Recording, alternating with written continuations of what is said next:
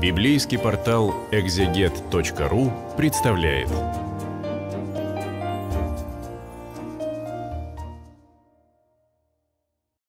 Пятьдесят первая глава книги пророка Исаии для портала «Экзегет». Я читаю свой перевод с небольшими комментариями. Я Андрей Десницкий. Ну вот, 50-е э, уже пошли главы, и э, в 50-х главах, как в 40-х основная тема была исход из Вавилона, в 50-х главах э, отношения Бога и Израиля, и он или слуга отрок Господень, который стоит где-то в центре этих отношений.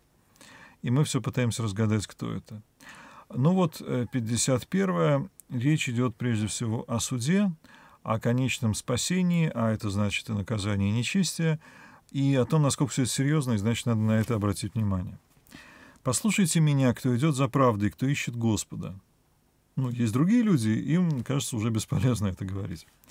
«Взгляните на скалу, из которой вас иссекли, на ров, из которого вынули». Это, конечно, тоже аллюзия к истории израильского народа. Скала, э, из которой Моисей извел воду, ров, из которого вынули вот такой, э, ну, водосборник на самом деле, слово ров не точно переводит, э, из которого вынули когда-то Иосифа, его братья туда посадили, а потом вынули. Ну и, конечно, символически это означает вот некоторое изъятие из заключения, из тьмы, забвения, неведения – Взгляните на вашего отца Авраама, на родившую вас Сару, э, предки, да, от которых произошли все израильтяне, не только израильтяне. Я призвал одного Авраама, благословил его и размножил. То есть э, не очень важно, сколько вас. Важно, в каких вы с Богом отношениях. Господь помилует Сион и развалины его, уподобит пустыню его Эдему, сухую степь его Господню саду. Эдем, соответственно, тот э, райский сад, в котором Адам с Евой изначально были – и не очень там хорошее, может быть. Сейчас ситуация, Ближний Восток засушливое место, но будет Эдемский сад. Сухую степь его Господню саду, крики радости в нем зазвучат, словословия и песнопения. Но э, у вас все будет хорошо, да, конечно, это приятно слушать, но есть более важная тема. «Мой народ, меня послушай, ибо от меня идет учение, и суд мой будет светом для народов» как-то суд будет светом, суд будет э, чем-то грозным, страшным, но он установит, очевидно, что-то такое, от чего всем станет светло. Близка моя правда, грядет мое спасение. Я буду судить народы, острова уповают на меня, надеются на силу мою. Острова — это постоянный образ, то есть далекая, отделенная от всех земля, вот уже вот дальше некуда, да? Какая-нибудь Австралия сегодня бы сказали.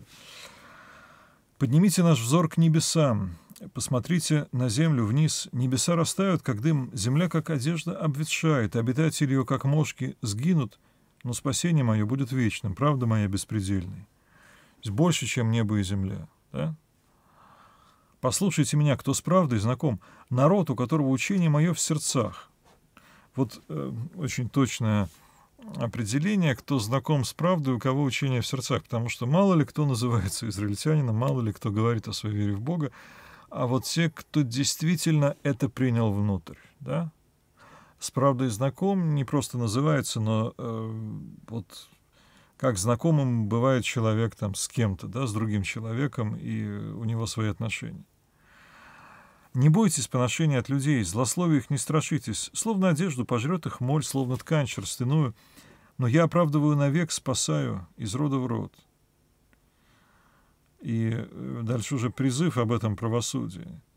Поднимись, поднимись и силой облекись, Господня рука, поднимись, как в дни давние, времена древние, вот э, было же там исход из Египта, например. Не ты ли Рахава разрубила? Рахав, ну, вообще название некоего морского чудовища, обычное название Египта в поэтических текстах, да, вот такой, как дядя Сэм, это Соединенные Штаты, так Рахав в Библии это, э, безусловно, Египет. Чудовище морское сразило. Не ты ли море иссушило, воды великой бездны?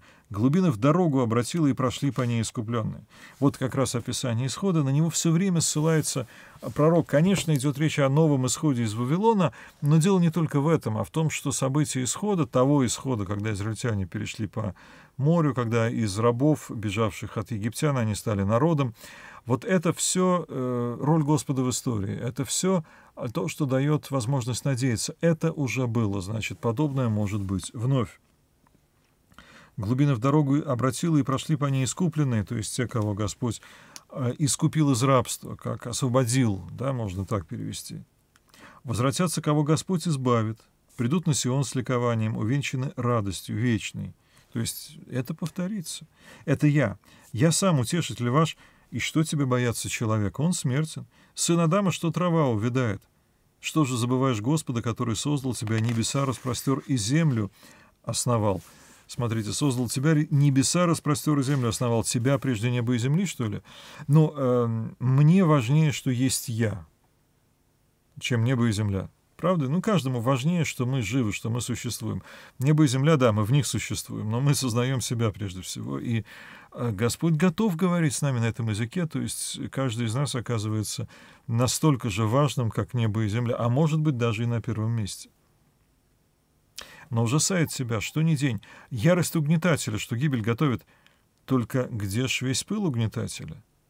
Скоро распрямится сагбенный, не сгинет он в яме, хлеба лишен не будет.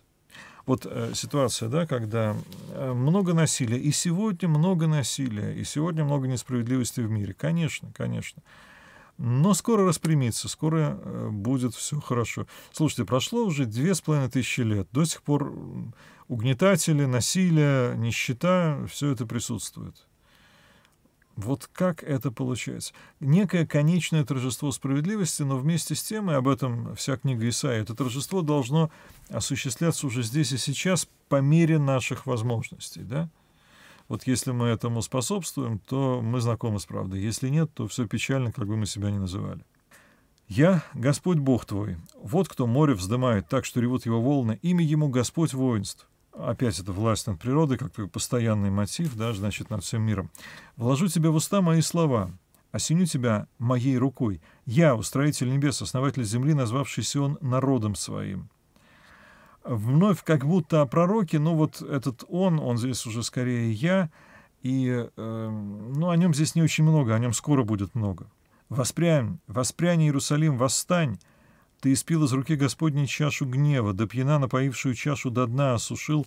Э, чаша обычно у нас образ хороший, да, дают что-то такое приятное выпить. А здесь очень часто это чаша гнева, то есть горькое лекарство, касторка, да, э, которую пить неприятно, и, ну, но выпили, все, все уже э, прошло. Не на кого было опереться из всех рожденных детей, за руку некого было взять из всех рожденных детей. Ну, то есть э, здесь это вот дочь Сиона, как женщина, которая в беде, в несчастье, и ей даже дети родные не помогут, потому что вот они в плену. Выпали тебе две беды, и кто же тебя утешит? Разгром и разруха, голод и меч. Кто же тебя утешит? А, причем в, есть рукописи, где говорится «я тебя утешу». То есть кто же тебя утешит? Разгром разруха, голод и меч, я тебя утешу. Такой вот, ну, почти как в песне, да, припев. Сыновья твои изнемогли, лежат на каждом углу, словно лань в ловушке. Настиг их гнев Господа, наказание от Бога твоего. Выслушайте же все это, кто страждет, кто пьян, но не от вина. Вот от этой самой чаши гнева, да, э, как раз интересно, что вино у нас э, это скорее приятное, что-то хорошее, да, а в э, Ветхом Завете вино — это скорее опьянение и состояние вот такого унижения и позора, да, как пьяный лежит, и выглядит неприятно, и он такой бессильный, безвольный. Так говорит Господь твой Бог, вступающийся за тебя. Я беру из руки твоей чашу пьянящую. Из кубка ярости моей больше пить тебе не придется. Я вложу ее в руки мучителей твоих, говоривших тебе, поди ниц, а мы по тебе пройдемся. Делалась твоя спина землею, улицей для проходящих. Ну вот, э, напоили чаши гнева, бросили на землю, еще потоптались на нем, теперь все изменится. Как это будет? С чем это связано? Следующая, 52 глава.